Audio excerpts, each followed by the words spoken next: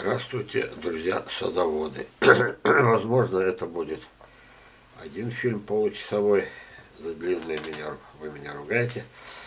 Вот. А возможно, будет целая серия, как получится. Я случайно у меня открыл вот эту вот инструкцию, случайно, клянусь Богом. Дело в том, что не туда нажал, и смотрю и вспоминаю. Итак, была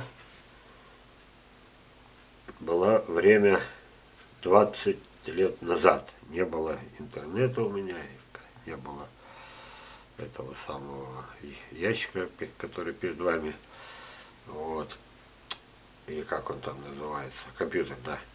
И я только в одной газете «Фазенда», для меня она была главная, я оттачивал там свои литературные навыки и опубликовал больше 12, больше 10 лет в каждом номере печатался. Есть специальный диск, он, кстати, тоже продается, но уже, наверное, год или два никто не купил ни одной. Там сотни моих статей. И вот единственная статья, которую забраковала главный редактор газеты «Фазенда». Почему? Потому что сильно уж она и показалась, нет, не, не, не вредной, не полезной, а странной. Вот. Поэтому я решил, пришли новые времена, соцсети, давайте прокомментируем, как получится. Вот.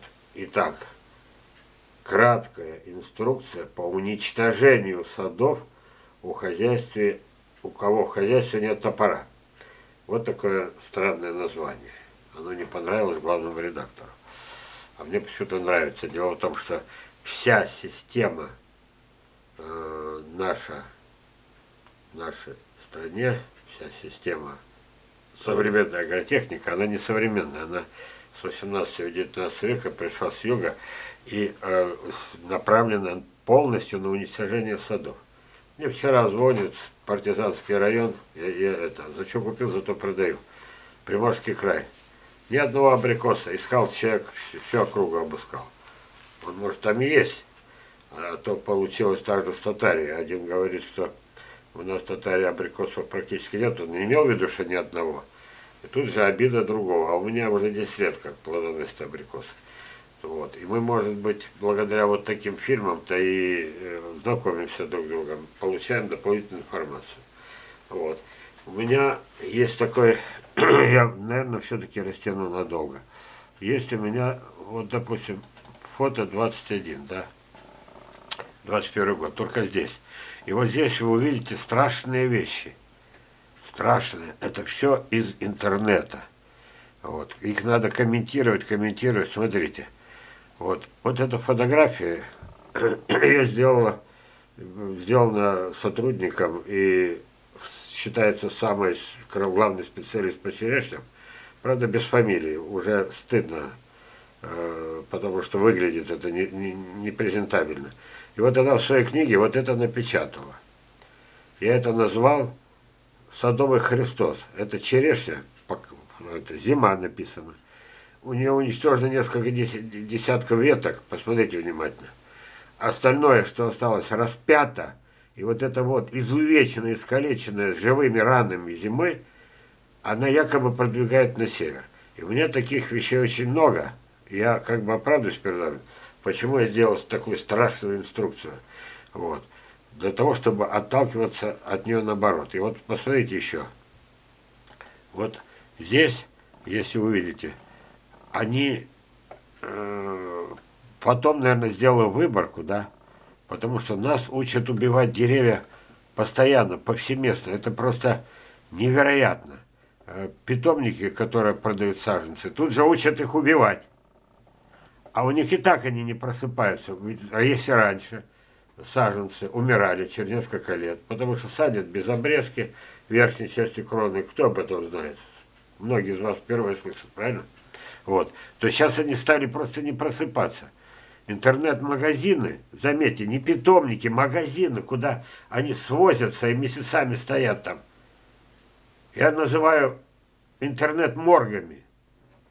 Ну что, э, надеюсь, вы меня поняли. Вот потом отсюда выберу, что тут творится. Ой, что тут творится, ребята. рядом с вот с этой невероятной красотой, да, вот, с такой красотой, мертвые саженцы везде, по всей округе, везде и всюду. В общем, кстати, моя тематика шире. Я еще учу, как детей воспитывать. И не только детей.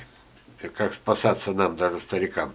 Итак, продолжаю каким образом? Возвращаюсь, чуть не сказал, к, к нашим баранам. Вот они, бараны. Так, поехали. Уничтожайте перекопкой дерн в приствольных кругах. Заметьте, я один из сотен из тысяч, кто, кто это. Это ваше. Уничтожайте перекопкой дерн в приствольных кругах. А заодно бактерии, червей. Черви там зачем нужны вам черви? Капиллярные ходы, корни. Там э, еще там, кстати, надо добавить муравьев, много чего. Они мешают в скобках, в кавычках, вырастет сад. Вот все эти черви, значит, капиллярные ходы для кислорода, мешают вырастить сад. Зато копая можно сбавить лишний вес. Вы представляете, вот, э, э иронию-то понимаете? Сейчас я покажу вам, как надо сбавлять лишний вес. Сейчас, сейчас, сейчас, сейчас, сейчас. Сейчас, сейчас, сейчас. Смотрите. Вот. Как я сделал? Я взял набрал. Сейчас надо это самое, как тебя, как тебя убрать. Э, там, ну, если вы набираете, как я, так, как тебя, а вот, крестик. Вот, смотрите, я набрал перекопка в саду. Вот это, вакханалия, это бедные, несчастные миллионы людей, которым били в голову, что если ты не будешь, вот Нахрена дерево вот это вот, оно же там гниет, видите, оно больное. Но это э, даже вряд ли какой-нибудь, э, ну, абрикос-то уже давно был бы мертвый, так? Вот это, например. Вот. Или, например, ну, какой-то выбрать характерный. Сейчас, минуточку. Вот. Да, да, да вы уже, наверное, поняли, что я имел в виду. Вот это вот, нахрена дерево надо? Вы пойдите в лес, посмотрите. Это даже не культурное дерево. Это, понимаете, это дикорос. Больное, несчастное, ограбленное, обворованное. Единственное, главное его еда – это листва и трава, вот это дерн. Что же вы сделали? Все выгребли, уничтожили все это самое. Вы понимаете, как я сравниваю? Э, что такое перекопка? Вот. Перекопка – это значит, в человеческом понимании, на кухне приходят к вам кто-то, к вам на кухню, выгребает с холодильника все до последней крошки, находит даже какой-нибудь сухарик, и тот у вас забирает, не спрашивая согласия. И, наконец, когда все полностью выгребено, и вы через несколько лет умрете с голоду, потому что какие-то крохи-то достаются, там можете подмести пол, тут найти э, сухарик, вы можете к соседу, вещи кормить не будет. Ну, то есть прилетит от соседа что-нибудь там, несколько листиков перегниют и чем-то маленько дерево накормят. И потом, когда вы начинаете умирать с голоду, вот дерево умирает с голоду, так, вот, по крайней мере, болеет, все запасы когда-то кончаются в почве питательных веществ, кончаются, а новые не поступают – они же не знают, что такое круговорот в природе, и что такое пищевая цепочка. Эти специалисты. Вот и после этого появляется какой-нибудь, допустим, знаете, есть такие краны, а висит такой э, этот огромный чугунный шар.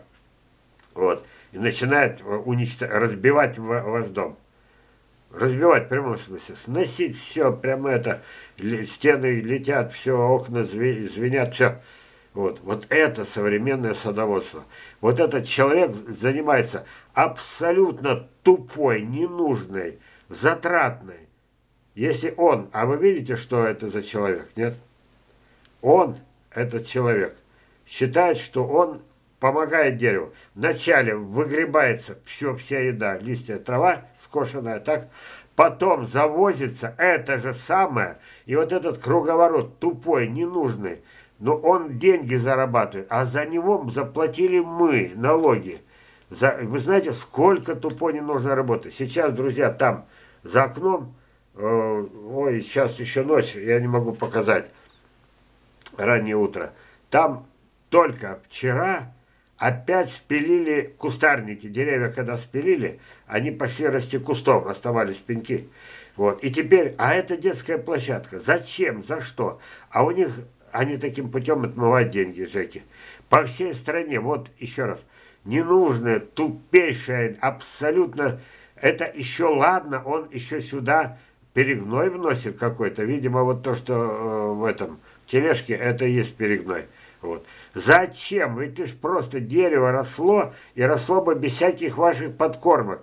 Потому что, но, я не знаю, у меня уже никаких этих самых, э, как сказать-то, уже доказательств нет, эмоций не хватает. Вот так посмотрели, знаете, целых 10 минут мы это. А теперь смотрим дальше. Используйте обрезку на кольцо быстрее умрет дерево, быстрее посадите новое. Логично, нет? Я вам посоветовал, да, используйте обрезку на кольцо. Ладно, друзья, поехали. Учтите, экспромт, хотя у меня много чего заранее приготовлено. Вот. Уникальный Архив, не имеющий себе равных на всей планете. Обрезка. Вот она обрезка, ребята. Сейчас мы будем с вами, просто покажу несколько этих самых. Если бы знали, какая доказательная у меня база. Тысячи фотографий вот таких. Вот это я уничтожил до сих пор. Я уничтожил всего три дерева э, яблоневых на заре своей деятельности. Штамбы делал. Как разрушаются деревья, когда обрезка на кольцо. У меня доказательств тысячи, да, фотографий тысячи. И единственное, что я, это самое, э, о, кстати, отвлекся, вот это и есть тот самый Жак. Вот это несколько лет назад я телевидение вызывал, материл, глядя в эту глазок видеокамеры. А что толку? Поздно. Зачем они это сделали? Представляете, какая была защита, была площадка отдельная от дома, от всего. Рассиди, знаете, что мне сказала это? Э, она командовала этими. Я, ше, а вы думаете, случайно? В 6 утра я проснулся от звона пилы, выглянул на балкон, быстро оделся, выскочил на улицу. Это было в 6 утра. Почему они начали это делать посреди лета? Почему они начали, ну, наверное, в 5? Наверное. Да чтобы вот этого не было. Я махал руками на нее. Я это самое. Я потом в отместку вызвал телевидение. За что? А им надо было наши деньги отмыть. Представляете, бензина сожгут 10 литров, на, на это самое для бензопилы напишут 100. Вот это современная система, это часть ее. Я просто не выдержал, попалась, потому что вот эта папка называется обрезка. Вот. У меня таких фотографий. Посмотрите. Жило было дерево. Вот это коротенький пенечек. Посмотрите, с самого низу смотрите. Прекратилась сосудистая система мертва, поэтому лопнула кора.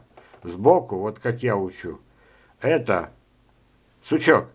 Вот тут ничего не случилось, вот тут так и обтекает, то есть сохранилась э, сосудистая система. Здесь она заморожена, обрезка на кольцо, проклинаю. Пока вот так, э, потому что у меня сотни фильмов на эту тему, но именно сейчас, сегодня у меня вебинар. По понедельникам, сегодня 6 декабря, так, я сейчас покажу, э, научу не все, наверняка, пусть понемножку наших людей прибывает. Смотрите, вот это вот объявление о вебинаре. Сейчас. Гостевая книга. Так. Вот оно, видите, это я копировал как раз. Рассылал по, по разным источникам. Вебинар 6 получается каждый понедельник. Следующий будет 13 потом будет 20 в 16 часов вебинар. Вот. Регистрация через электронную почву регистрация через ВКонтакте. Вот. На YouTube-канале регистрация. Пожалуйста, их уже 160 будет. Вы его не увидите, но вы сможете увидеть 161. Там подробно. А пока, друзья, да, я уже понял так. Какой там этим самым галопом по Европам? Не получается галопом по Европам. Получится у нас так. Пока только второй пункт говорим, да. А посмотрите, сколько на, на это. Почему у нас нет садов. Вот. Поэтому, наверное, по крайней мере, будет и вторая, наверное, и третья серия. Посмотрим. Итак, обрезка на кольцо смертельно опасна. Ошибка невероятная. Применяется на юге, может быть, в Испании, в Испании и Италии. Дальше пошло на север. И уже на Украине нельзя. На Кавказе нельзя. Юг России нельзя.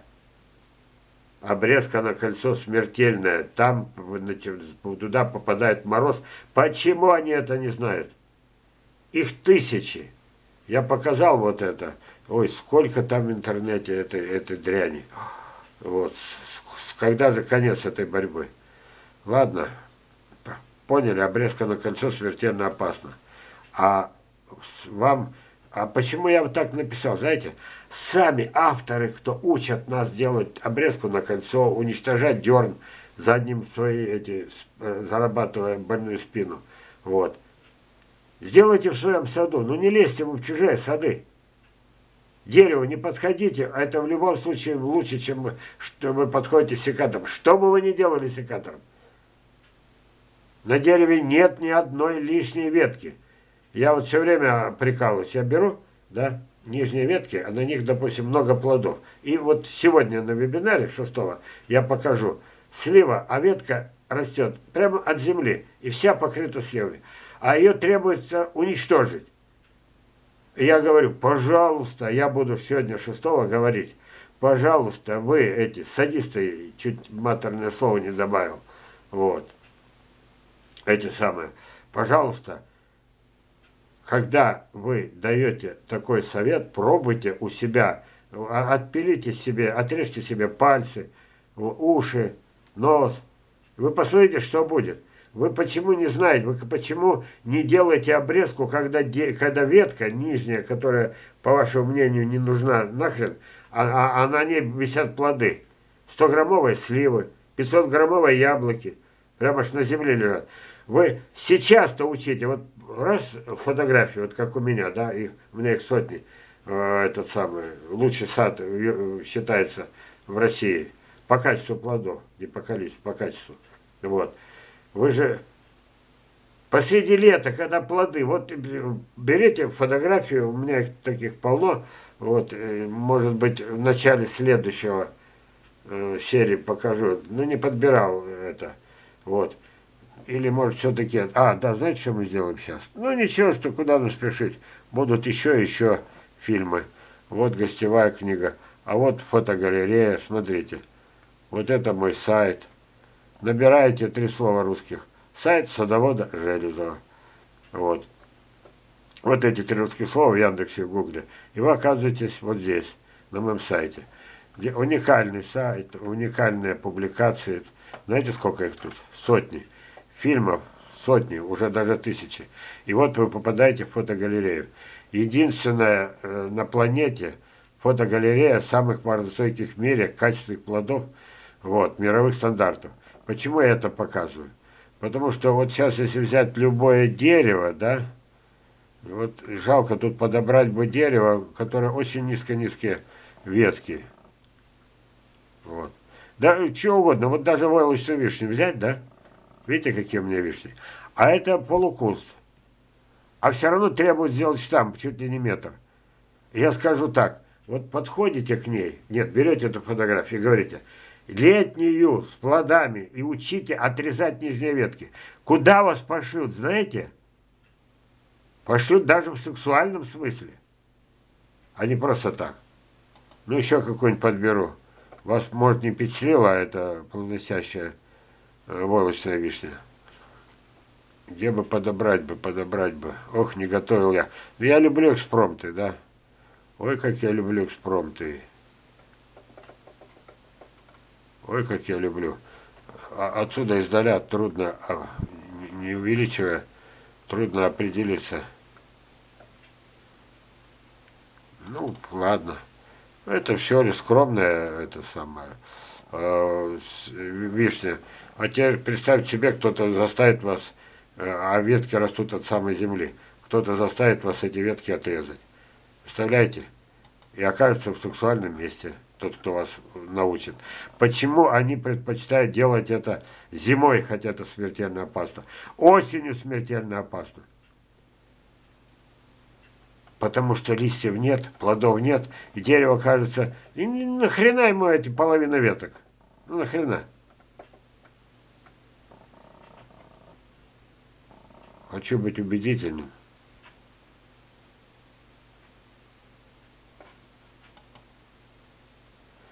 Ой, нет. Да, не готовился я, может быть и хорошо, что не готовился. У меня больше эмоций таких. Вот. Я штамба никогда не делаю. Не делаю, не делаю. Вот. Ну, вот эти ветки, да. Ну, одна из сотен фотографий. Они растут от самой земли. Посмотрите, сантиметров 20, да, до земли. И что вы видите? вы видите прекрасно плодоносящую ветку.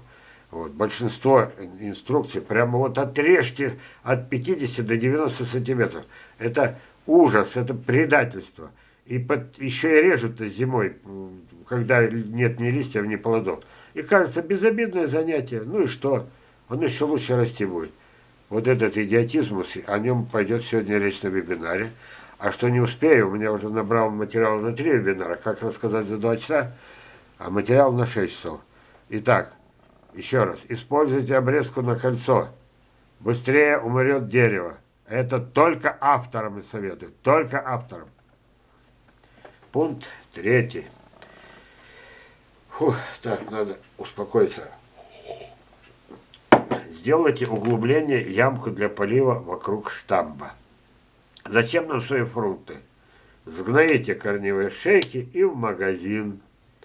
Там фруктов полно. Ну что, посмотрели мы на фотографии обрезки. Тут страшные фотографии.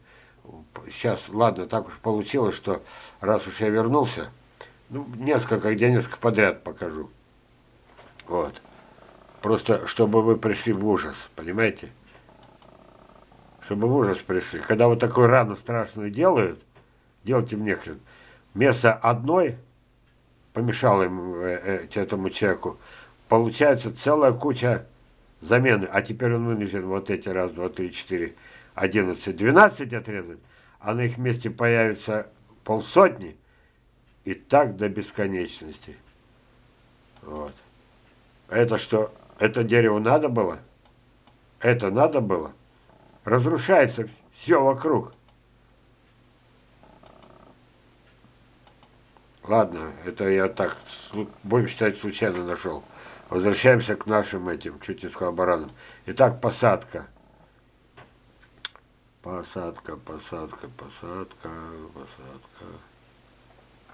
А, посадка. Вот она. Давайте сейчас найдем хотя бы одну. Здесь посадка семян, правильно, это значит не глубокая, потому что те, кто учат заглублять семена, они предатели. Они не знают, что потом происходит омертвление части штамба, который оказывается под землей. Не знают, вы представляете?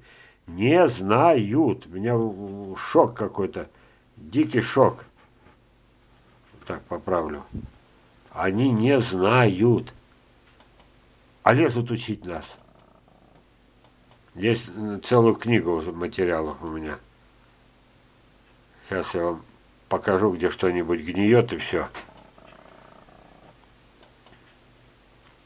Многие что-то видели, вот, многие посмотрят, вот видите,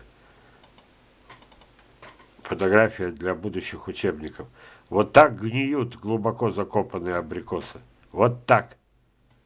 Фотография обвинения этим самым специалистам. А у этих специалистов звания, знаете какие? кандидат наук, доктор наук. Меня вот это убивает. Вы сами-то, вы, вы же знаете, а целые сады погибли у самых, э, они считаются гениями, садоводов России и мира погибли. А они, прожив жизнь, даже не знали, что они просто глубоко закапывали. Вот эта фотография мной сделана еще, видите, к чем? Ну, мыльницей, тогда еще путем фотоаппарата не было. Вот это я. Дальше не буду, показываю одну. Вот. Константин Шмайни. У меня погибают эти э, ваши абрикосы. Я беру, разгребаю. Она вот так травой закрыла, тут небольшое углубление, и сгноила. Уже этого хватило, что там нет солнца. Вот эта часть надземная. Солнце, стоит убрать солнце, а это значит и сырость, соответственно. Проветривания нет. Небольшая ямка и все. Вот. Видите, что творится? Сейчас, может быть, у меня осталось три минуты, и будет, а закончится первая серия. Ну и бог с ним. Будет и вторая. Вот. Проведу вебинар, я их могу 10 сделать. Все это я вам показывал, но как показывал. Вот. Одним показывал там, другим этом. Разные каналы, разные эти. И получается, что цельной картины нет до сих пор. Книги есть, да, книги я сделал. Но если купят неделю одну книгу, это просто счастье для меня. Вот. Также и диски. Также и диски, также и диски. Бесценные фотографии. Вот. У меня же как его? Посмотрите, вот эта груша. Сгнила на ровном месте. Тут ямок фактически нету. Поэтому посадка только на холмы. А, ой, я же там инструкции писал. Не вздумайте эти садить в ямки, помните? Но еще раз говорю, я сейчас уточнил. Может быть, не поняла меня главный редактор, отказавшись печатать. Любой человек мог воспринять. Вы знаете, вот это вот мог, э, все, что вы видели, вот эта посадка на холм по Железову, такой разве погибнет? И часть кроны отрезана. Вот видите, специально показываю секатор. Вот. Вот она посадка на холмы, это по Железову. А там-то написано, вот здесь там углубление. И... Она права. Она права. Для простых людей, замороченных этими специалистами, в кавычках, они бы так буквально бы и поняли ямку для полива вокруг штамба. Многие не поняли бы эти, даже это самое. У меня был случай, когда я э, проводил вот так же вебинар, а там ниже комментарии, женщина пишет просмотрела, а я тогда проводил вебинары, сейчас по три часа, а были по четыре. Я про просмотрела все до последней минуты и ничего не поняла. Так, действительно, нельзя так шутить. Сделайте углубление. Не поймут, что это я учу этих самых. Напоминаю авторам этих самых способов. А это способы до сих пор и книги никто не отменял, где углубление. Вот. И я воюю в одиночку, но сами понимаете. Так, пошла последняя минута. Ну что, наверное, мы до следующей темы не доросли. Так, где-то наш, ага, где доросли. И на этом пункте 3 мы и закончим. А для этого мы еще, для этого мы еще, последняя минута. Вон, видите, видите? На ровном месте сгнивает груша. Кто об этом знает, что в отличие от яблони, груша не держит совершенно сырости, сгнивает напрочь. Поэтому груш в стране в десятки раз меньше, чем яблонь. И только, а было бы какие яблони? Ну, на холм-то посадите, в конце концов. Ну что это, на холм посадите. И груша не будет гнить. Они же морозостойкие, до 40 выдерживают. Я имею в виду привитые мои, знаете, на уссурийские груши или на сварок. Вот. Сейчас через 20 секунд он отключится сам. А это надо комментировать, комментировать. Посадка по Латинкову. Надо комментировать.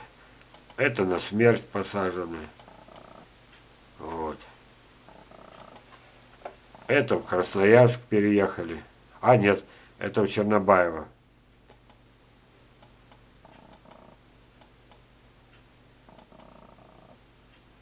Все. Пока до второй серии.